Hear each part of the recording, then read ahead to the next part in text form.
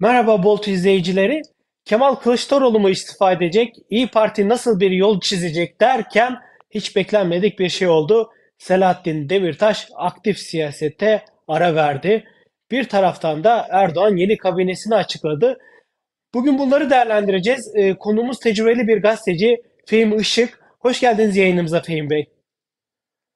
Teşekkürler, sağ olun. E, Fehmi Bey ilk sıcak konuyla başlayacağım. Erdoğan şimdi yeni bir kabine açıkladı. E, birçok kişi yani sonuçta Erdoğan aslında bütün kabineye kendi rengini veriyor. Hiçbir bakan e, kendi politikalarını uygulamıyor derken kimileri de bir değişim umudu taşıyor. E, siz nasıl yorumladınız? E, kabineden umut var mı? Erdoğan değişecek mi? Politikalar sertleşecek mi? Ya da yumuşayacak mı? Ya ben e, doğrusu kabineyi ilk e, gördüğümde e, ilk izlenimim şu oldu. Yani e, kabine bir bütün olarak e, şu veya bu biçimiyle e, AKP ve periferindeki isimlerden oluştu. Yani geçmişte kabineye rengini veren e, daha çok ulusalcı, e, ırkçı, milliyetçi kesimlerden gelenler de vardı ama bu kez kabinede ağırlıkla görünen renk e, AKP'li e, rengi ama diğer taraftan e, şöyle bir durum da var. Yani bu kabine e, bir önceki kabineden e, daha farklı duruyor. Yani e, hiç kuşkusuz sonuç itibariyle e, devlet politikasını uygulayacak bir e, kabine yani devlet aklıyla hareket edecek bir e, kabine ama sonuç itibariyle bir makas değiştirme eğilimini e, bu kabineyle görebiliyorsunuz. Yani e, yakından takip ettiğim için söylüyorum. Özellikle e, Kürt meselesine dönük e, biraz da içteki Kürtleri yani AKP'ye yakın duran bir şekliyle AKP ile hareket edebilecek Kürtleri yanına çekip o Kürtlerle birlikte kendi Kürt siyasetini egemen kılmaya dönük adımlar atacak bir kabine gibi duruyor. Yani bu Kürtlerin tümünün taleplerini e, karşılarma anlamında değil ama en nihayetinde e, bir şekliyle şimdiye kadar AKP ile hareket eden ama diğer taraftan e, HDP ve periferindeki kitlesel Kürt hareketini e, savunmayan hatta ona karşı duran kesimleri e, güçlendirme eğilimi. Yani bir deyim yerindeyse Hüdapar'ı da kendi yanına çeken işte e, Güney Kürdistan üzerinden e, Barzani ile çok iyi ilişkiler kuran Erdoğan'ın ya da AKP iktidarının bunu kalıcılaştırıp HDP'yi etkisizleştirmeye dönük bir siyaset üzerinden yürüyeceği izlenimi edindim ama tabii bunu yapacak olan, makas değiştirecek olan Erdoğan'ın aynı zamanda Batı'yla da uyum içerisinde hareket etmesi lazım. Yani Batı'ya daha yanaşık duran bir görüntü çizmesi lazım. Şimdiye kadar e, Batı ile çatışmanın bir şekliyle belki ırkçı milliyetçi politikalar üzerinden e, nemasını aldı ama bunun çok daha fazla gidemeyeceğini özellikle ekonomik tabloyla birlikte gidemeyeceğini gören Erdoğan işte bu Batı ile ilişkileri de Mehmet Şimşek'i yeniden ikna ederek e, bu sürecin içerisine katmayla gösterdi. Yani Mehmet Şimşek'in açıklamalarından okunan şu, kendi ekonomik politikalarını uygulayacak, Batı ile entegre bir e, ekonomik siyaset izleyecek. Yani bu e, Erdoğan'ın şimdiye kadar dillendirdiği siyasetten farklı olacak ama son lafı e, diyeyim bu konuyla ilgili. Yani bir e, mühendislik işi var işin içinde gibi geliyor bana. Yani e, korkunç bir mühendislik var. Bu sadece iktidar üzerinden gider bir mühendislik değil. E, kuşkusuz muhalefet de bunda belirleyici olacak önümüzdeki dönem açısından. Ama e, iktidar bir şekliyle seçimden sonra kendini toparlamaya dönük adım atarken ne yazık ki hala muhalefet kanadında e, ciddi sorunlar var. Üstesinden gelmesi gereken sorunlar var. Ama önümüzdeki dönem muhalefetin e, gerçekten tekrar etkili bir biçimde kendi rayına oturmasıyla e, bu tabloların hepsi e, daha farklı e, biçimde bir e, yön izleyebilir kanaatindeyim. Evet. Ee, Erdoğan kanadında bunlar olurken Demirtaş da birden aktif siyasete yani hiç beklenmedik bir şekilde ara verdiğini söyledi. Korkma sen Hızırsın diye şarkılar yazan bir ismin birden aktif siyasete ara vermesi herkesi çok şaşırttı Fehim Bey. E, Neden böyle bir karar aldı? E, Partiye de sert eleştiriler var. Rahatsızlığı ne Demirtaş'ın?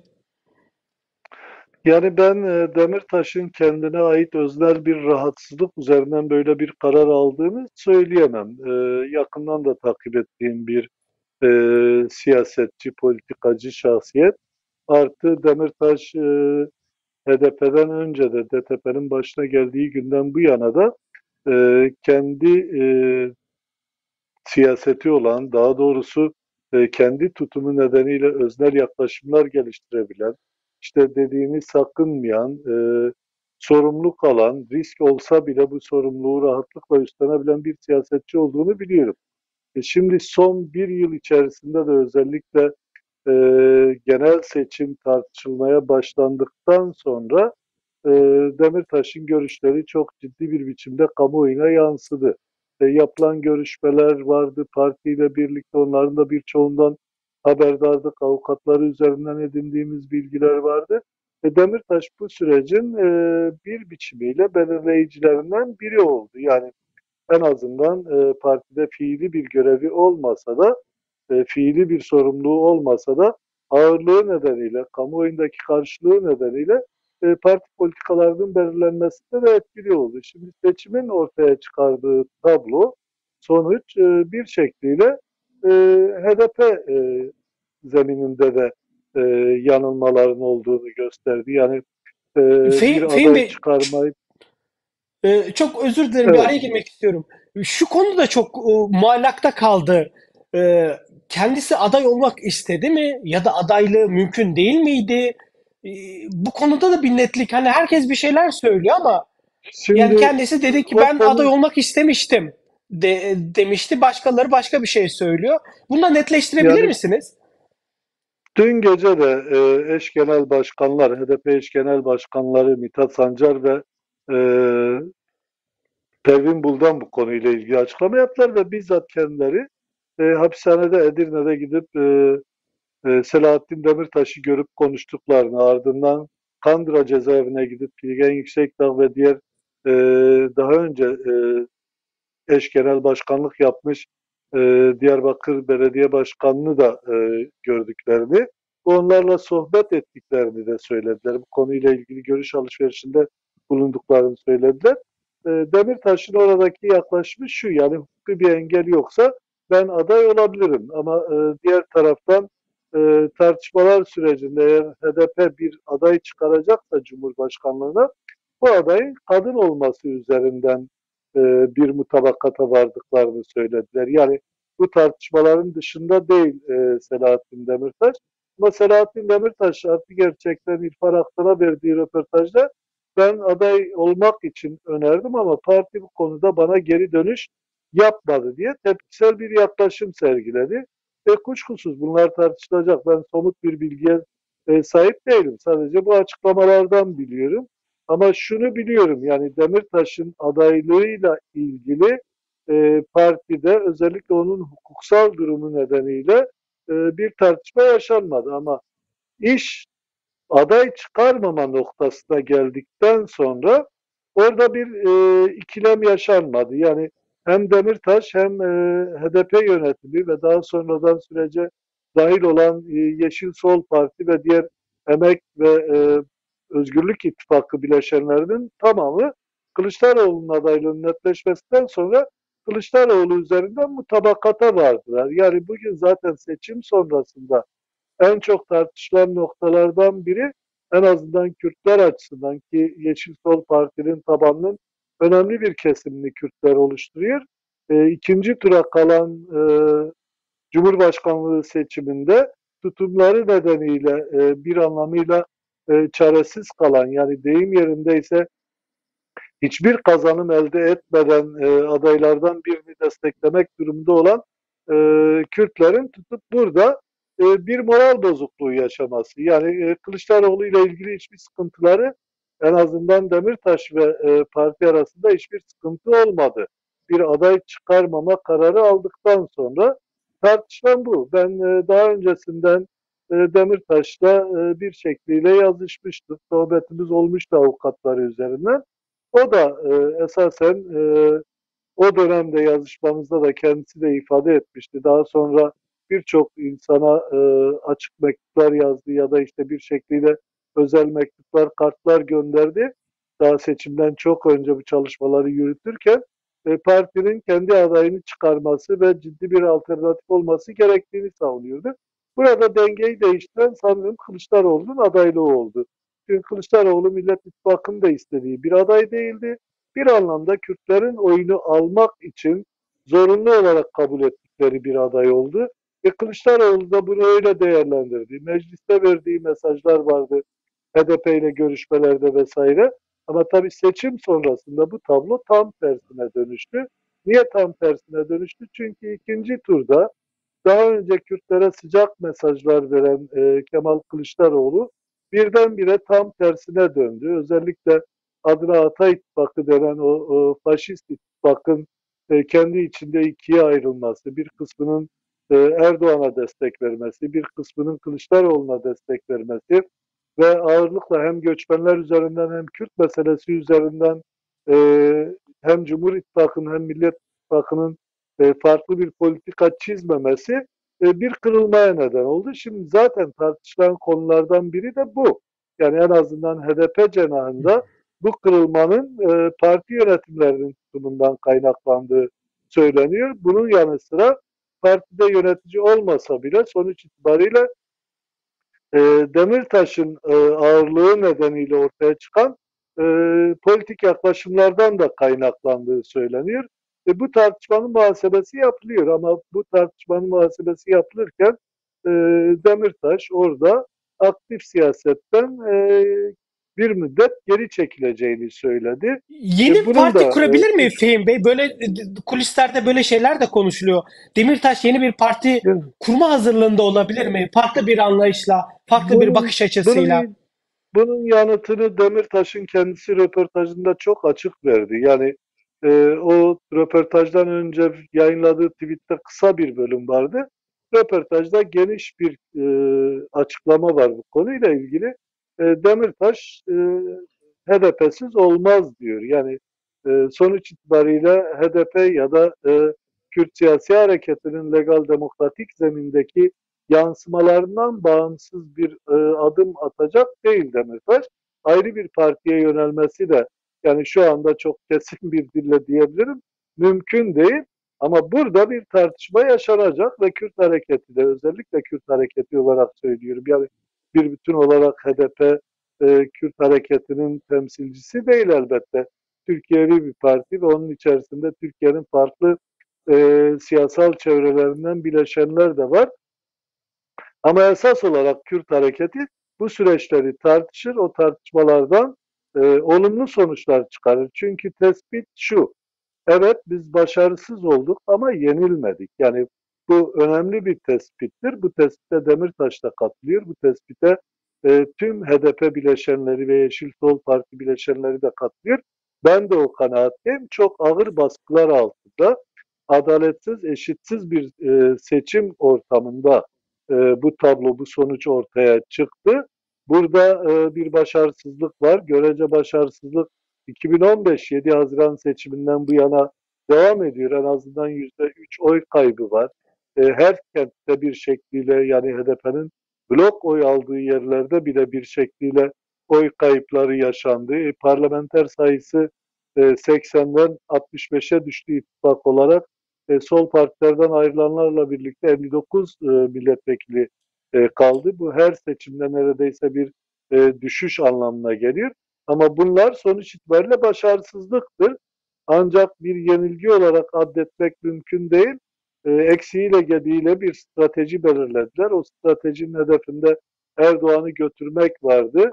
Erdoğan'ı götüremeseler bile sonuç itibariyle mücadeleden çekilme yok. Yani bu dönemde kendilerini restore ederek bir şekliyle tartışma sürecini sağlıklı ve verimli bir şekilde tamamlayarak önümüzdeki dönem tekrar e, daha güçlü bir şekilde yerel yönetimler için, yerel seçimler için hazırlık yapacaklarını söyleyebilirim ama burada Demirtaş üzerinden ya da partinin e, farklı diğer kadroları üzerinden e, bir ayrılık bekleyenler hiç boşuna beklemesinler. Yani biraz önce dikkat ederseniz yeni kabineyle ilgili sorumuzu yanıtlarken bir şekliyle e, HDP karşıtlığı üzerinden yeni Kürt oluşumları tesis etmeye dönük bir planlarının da olduğunu söyledim.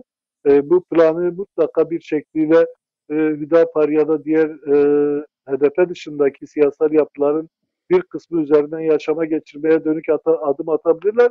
Ama 2015'ten önce de 2015'ten sonra da ısrarla yaşama geçirmek istedikleri politika HDP'yi parçalayarak bir şekliyle etkisizleştirerek bundan nemalanmaktı. Bunu o zor koşullarda e, baskının, saldırının, e, gözaltıların, hapsetmelerin, e, ülkeden binlerce insanın çıkmasının yaşandığı bir dönemde yapamayanlar e, Kürt hareketinin kendi içerisinde bu kadar geniş ve e, açık bir şekilde tartıştığı bu dönemde hiç mi hiç yapamazlar. E, bir tek bir iki fire verseler bile sonuçta o firelerin hiçbiri e, partiyi bir bütün olarak etkileyecek fireler değil ki nihayetinde geçmişte işte bu partinin e, milletvekillerinden olan, parti yönetimlerinde görev almış Altan Tan gibi ya da işte Ayhan Bilgen gibi e, insanlar da ayrıldılar ve bunların e, partiden ayrılmaları çok ciddi anlamda partiyi zayıflatan, gerileten bir etken oluşturmadı. Ama bu tabii Selahattin Demirtaş'a aynı anlamda benzetmiyorum. Burada bir yanlış anlaşılma olmasın. Selahattin Demirtaş zaten öyle bir yaklaşım sergilemez. En niyetinde Demirtaş e, Türkiye'de geleceği olan önemli bir siyasetçi. Her şeye rağmen bir ikincisi e, hapisteki e, tüm e, baskı ve zorbalıklara rağmen e, bir tek an olsun geri adım atmayan bir şahsiyet. Yani bu e, harekete önümüzdeki süreçte zenginlik katacak. Ama bu tartışmalar sürecinde belli olan şu ki bir müddet Selahattin Demirtaş sessiz kalacak. Ama o sürede mutlaka partiyle bu tartışmalar döneminde ilişkilerini, iletişimlerini sürdürüp oradan sürece de katkı sunacaktır diye düşünüyorum. E, Fehim Bey, seçimden 6 ay önce biz Kürt oyları stratejik oy diye konuşuyorduk. Bu konuda yayınlar yapıyorduk. Sonra sizin ifadenizle bu faşist cephe öyle bir hale getirdi ki politikayı ve şunu dediler. Artık Kürt oyları değil, milliyetçi oyları kritik rolde dediler. Ve bu süreçte e, HDP'yi ve e, Kürtleri e, kenara ittiler e, ve sıkıştırdılar. Yani terörle özdeşleştirdiler. E, normalde e, eskiden e, Kürt siyasi hareketi bu tür e, durumlardan çok e, siyasi hamlelerle çıkmayı çok iyi başarabiliyordu. Bu sefer neden aynısı olmadı? Neden yeni bir strateji üretemedi? Bu Selahattin Demirtaş'ın e, o röportajında belirttiği bütün kadroların e, daha doğrusu yetişmiş birçok kişinin işte cezaevi süreç cezaevine atılmasıyla alakalı bir durum mu? Yani baskıların, parti kadrolarında yaşanan zayıflığın, özellikle e, baskıda saldırılar nedeniyle e, hapislere atılan insanların ortaya çıkardığı e, sonuçlar nedeniyle bağlantılı olan şeyler var. Ama en nihayetinde e, HDP, bir HDP bağlamında konuşursak, yani bir bütün olarak Yeşil Sol Parti için seçime girdiğinden dolayı Yeşil Sol Parti'de diyebiliriz. Esasen bir hedefsiz girmedi bu seçimlere. Yani bir e, strateji belirledi. İki temelli bir stratejiydi. Bunlardan biri Yeşil Sol Parti'yi güçlü kılmak, diğeri ise Erdoğan iktidarına son vermek. Yani bu önemli bir e, belirlemeydi. Bir bütün olarak Kürt hareketi de esasen bu belirlemeye sadık kaldı. Burada tabii Kürtler kilit roldeydiler. Belki aday çıkarmayarak o e, kilit rolle ilgili e, sürüncemeli bir e, noktaya taşınmasını beraberinde getirmiş olabilirler ama orada da yaklaşım şuydu. Eğer Kılıçdaroğlu aday olacaksa e, bir şekliyle Kılıçdaroğlu'na aday karşısında aday çıkarmayıp onu desteklemekle bu stratejiyi yaşama geçirebiliriz. En nihayetinde 2019'da bu stratejiyle yerel seçimlerde çok etkili de bir sonuç almışlardı. Yani bu konuda e, çok az sayıda e, partili e, bu stratejiye karşı çıktı ya da dışarıdan yazan, Ya, çizen e, bizim Fehim insanlar karşı. Çok özür dilerim. Yani aslında biraz daha sorumu somutlaştırırsam şunu sormak istiyorum. Yani öyle bir hale getirdiler ki HDP ile hareket edene e, kazanamaz, kaybeder. Bu E, pe- Bu yani bu terörle özdeşleşir. Yani bu stratejiyi e, kıramadı HDP. Bu HDP ile ilgili bir sorun değil işte. Mesele HDP'nin yanında yer aldığı kesimlerin bu konuda korkakça bir tutum sergilemesidir. Yani HDP başından beri bu ülkede e, siyaset yapan, bir şekliyle e, seçimlere katılan, yerel yönetimlerde, parlamentoda e, temsil edilen bir oluşum, bir e, aynı zamanda halk tabanına da dayanıyor. Ama bu konuda dikkat ederseniz seçimlerin birinci turunda da İkinci turunda da seçimin iki ana ekseni özellikle Cumhur İttifakı ve e, Millet İttifakı açısından baktığımızda sanki seçimlere giren Yeşil Sol Parti değil de PKK'ymiş gibi her iki kesimde kendi siyasetini PKK üzerinden yürüttü. Bu çirkinlik ikinci turda kendisini daha fazla gösterdi. Kumpas videolarla ve benzeri tüm kirli yaklaşımlarla. Şimdi tüm bunlar bize gösteriyor ki esasen onlar istedikleri kadar Kürtler ya da işte bir bütün olarak e, HDP kilit noktada değil desinler. Bu HDP'nin kilit noktada olmasından kaynaklanan bir şekilde Türkiye'deki ırkçı ve milliyetçi kesimi konsolide etmekten e, sonuçlanan bir politika. Yani konsolide etmek de tabii kutuplaşmayı çok ciddi bir biçimde arttırdı. Belki bugün e, AKP açısından farklı bir kabineyi tartışıyorsak bu Türkiye'deki e, kutuplaşmanın ortaya çıkaracağı risklere karşı da atılmış bir e, adım olarak da değerlendirilebilir. Yani korkunç bir tabloya sürüklediler. Ama bu şu anlama gelmiyor. Kürtlerin rolü e, tükendi. Hayır bugün Türkiye'de hangi sorun yaşanıyorsa bunun altında bir şekliyle Kürt meselesi var zaten. Kürt meselesi ayrıca sadece Türkiye'nin de meselesi olmaktan çıktı. Bugün Suriye'de en önemli başlıklardan biri bu Rojava üzerinden. Güney Kürdistan'da işte e, bir federal yönetim var ama Irak merkezi hükümetiyle yaşanan sorunlar, İran'la ve Türkiye ortaya çıkan sorunlar, yaklaşımlar en önemli meselelerden birinin o olduğunu gösteriyor. Biz bugün İran'ı çok ciddi bir biçimde tartışıyoruz. Mahsa Emin'in e, katledilmesinden sonra, Jina Emin'in katledilmesinden sonra ve İran'da da önümüzdeki dönemlerde öne çıkacak en önemli meselelerden biri bu olacak. Şimdi böylesi bir tablo içerisinde Kürtleri tamamen saf dışı bırakıp onun üzerinden ben e, gelecek kurgulayacağım diyenlerin hepsi tam bir hayal peşindedir. Ayrıca şu bir gerçek, biraz önce dediğimi tekrar ederek söylüyorum. Evet bir başarısızlık var ama bir yenilgi yok. Sonuç itibariyle eskiden tamamen külleşen bir e, Kürt siyasal yapılanması o küllerinden tekrar kendisini yeniden yeşertebilmişti. Bugün bir külleşme durumu da yok. Tüm baskılara rağmen susmayan, direnen, üreten, hala alanda mücadele eden ve parlamentoya da 65 milletvekiliyle giden bir ittifakı oluşturabilecek güç var. Bu gücü kuşkusuz ekarte etmek, tamamen saf dışı bırakmak mümkün değil. Ama önümüzdeki dönem belki biraz da bunların yeniden tartışılacağı bir dönem olacaktır. Yani CHP kendi içinde tartışacaktır. CHP dışında Millet İttifakı'nı oluşturan ama artık bugün bir Millet İttifakı diye ittifak da kalmadı. İyi Parti ve diğerleri oturup bunu tartışacak, konuşacaktır. Kürt Hareketi, HDP, Yeşil Sol ve diğer bileşenleri bunun muhasebesini yapacaktır. E, diğer taraftan en büyük muhasebeyi de AKP kendi içinde yapacaktır. MHP kendi içinde yapacaktır. Yani öyle bir anda bir seçimde biz bu işi bu defteri kapattık demek e, işte bugün bakan olamayan e, habire e, şu kadar kişi kaldı bu kadar kişi kaldı denen Süleyman Soylu'nun akıbetine dönüşmektir. Yani biz hep dedik eğer siz bu ülkede savaşı büyütecekseniz o savaş sizin de başınızı yer. En nihayette şimdilik görünen o bu savaşı büyütmede önemli rolleri olan Hulusi Akar'la Süleyman Soylu'nun başını yedi. Ama en nihayetinde bir şekliyle Kürt hareketi kendi e, kabı içerisinde, kendi yaklaşımları içerisinde durdu. Şimdi bu dönemde elbet herkesin e, oturup bunun muhasebesini yapmak, ona göre de adım atmak zorunda. Yani biten bir hareketten söz etmiyoruz. Yenilginin altında enkaza dönüşen bir yapılanmadan söz etmiyoruz.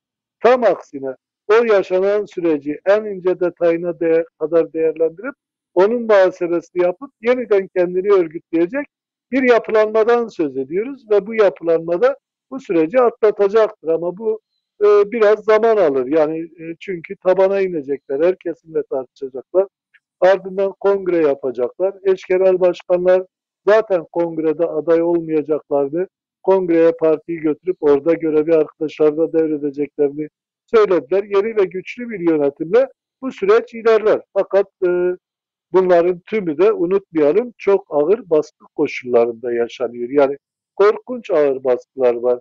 E, yurt dışına çıkmış en azından partiyi yönetebilecek kabiliyet tarzına sahip 40 bin insandan söz ediyoruz.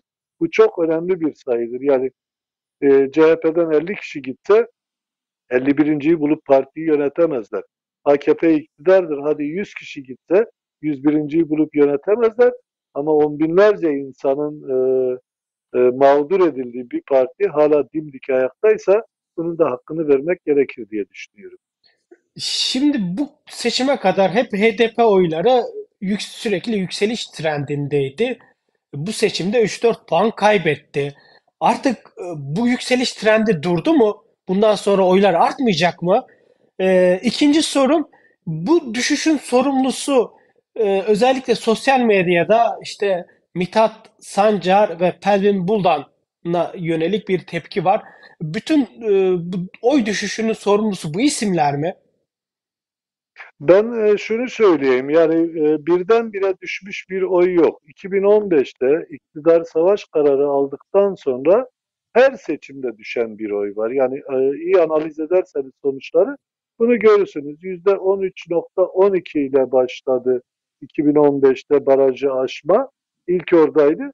Ondan sonra her seçimde düştü. Yani bu seçimde de ittifak olarak %10.5 olarak girdi. Şimdiye kadar da hep ittifak olarak girerlerdi ve e, şu veya bu biçimiyle ittifak oylarının e, toplamıydı o.